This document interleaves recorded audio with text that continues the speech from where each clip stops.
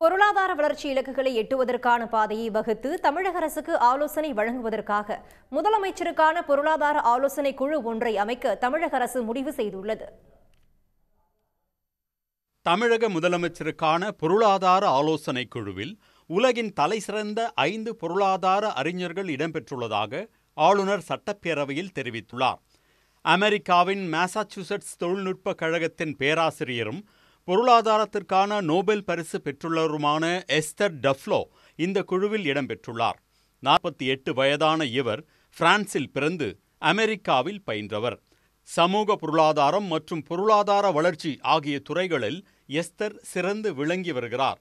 இரண்டாயிரத்து பத்தொன்பதாம் ஆண்டு பொருளாதார அறிவியலுக்கான பிரிவில் எஸ்தர் டஃப்லோவுக்கு நொபெல் பரிசு வழங்கப்பட்டது. இந்திய ரிசர்வ் வங்கியின் முன்னாள் ஆளுநர் ரகுராம் ராஜனும் தமிழக அரசின் பொருளாதார ஆலோசனை குழுவில் இணைந்துள்ளார். ஐஐஎம் அகமதாபாத்தில் எம்பிஏ பயின்ற அவர் சிகாகோ பல்கலைக்கழகத்தில் பூத் வணிகப் பள்ளியில் பேராசிரியராக பணியாற்றியுள்ளார். இரண்டாயிரத்தி எட்டாம் ஆண்டில் இந்திய அரசின் பொருளாதார ஆலோசகராக நியமிக்கப்பட்ட ரகுராம் ராஜன் அப்போது சர்வதேச அளவில் ஏற்பட்டிருந்த பொருளாதார நெருக்கடியில் இருந்து இந்திய பொருளாதாரத்தை மீட்டெடுப்பதற்கான கொள்கைகளை வகுத்தவர். இரண்டாயிரத்து பதிமூன்றாம் ஆண்டில் இந்திய ரிசர்வ் வங்கியின் இருபத்து மூன்றாவது ஆளுநராக பொறுப்பேற்ற ரகுராம் ராஜன் பல்வேறு முக்கிய திட்டங்களை செயல்படுத்தி பொருளாதார மேம்பாட்டுக்கு உதவியவர். இரண்டாவது முறையாக பதவி நீட்டிப்பு வழங்க மோடி அரசு மறுத்துவிட்டதால் ஆளுநர் பதவிக்காலம் முடிந்ததும் இரண்டாயிரத்து பதினாறில் மீண்டும் பேராசிரியர் பணிக்கு திரும்பினார் ரகுராம் ராஜன்.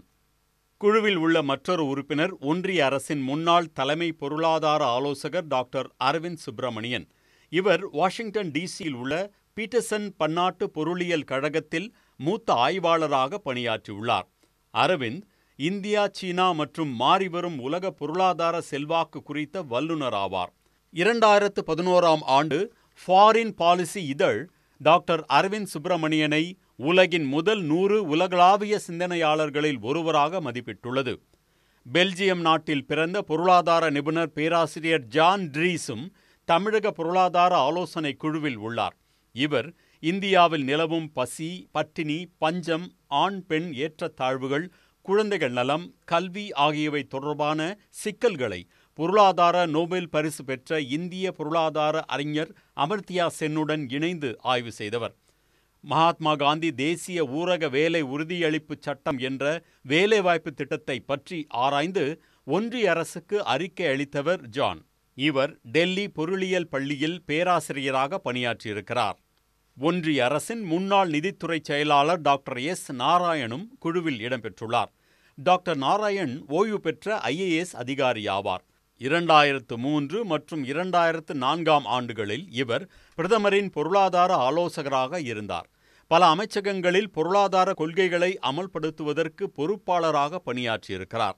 நாராயண் ஆயிரத்து தொள்ளாயிரத்து தொன்னூற்றி ஏழு முதல் ஒன்றிய அரசின் நிதி மற்றும் பொருளாதார விவகார செயலாளராகவும் வருவாய் பெட்ரோலியம் தொழில்துறை மேம்பாடு மற்றும் நிலக்கரி துறைகளின் செயலாளராகவும் இருந்தார்.